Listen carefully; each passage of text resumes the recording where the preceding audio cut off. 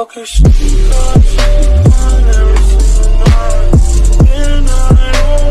guys, hello and welcome back to IEG Official. Today we're doing another reaction. If you guys are new to the channel, make sure to like, comment, and subscribe. That all being said, let's go ahead and get right into it right after this.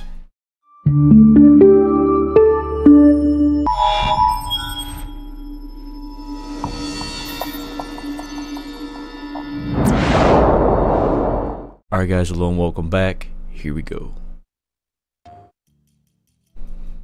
It's my childhood dream. It's very different uh, because I use like the PS4 black controller. It feels really nice in my hands. In between like tennis practices and matches, I would play PlayStation pretty much all day. It really helps me out because like I'm stressed out most of the time during the day while I'm at tournaments, but then I like, you know, come home and then I can play the PlayStation, like chill out. I really like free world games um, and also online so I can play with my friends. I think that's very, um, you know, fun. Like you get to unwind after a hard day with your friends um, and hopefully win more than you lose. But yeah, just free open world, online, MMORPGs, that type of thing. Gaming with my sister is kind of tough for me because she's really Hmm. good at like FPSs, so like first person shooters. She has really good aim. Uh-oh. Yo, I want to play that.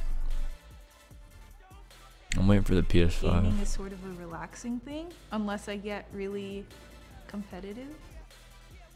As a kid, you always want to sort of feel what it feels like to be Spider-Man, and for me, when I was playing Heck yeah, dude. web slinging across the city, it was pretty close.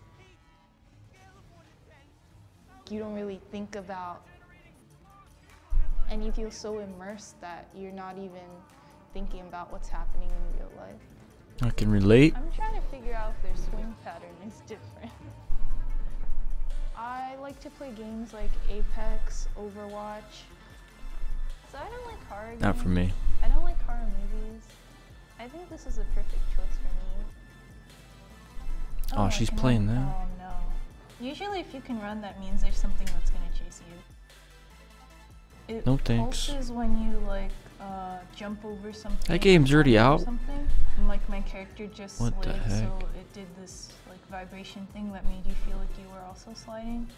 He's in this town that um, is completely abandoned, and he was like, "Are they out?" No, I think they left, sir.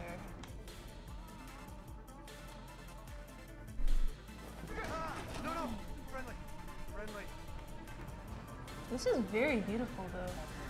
Can you imagine playing this in the dark? I don't really want to No thanks. in the basement.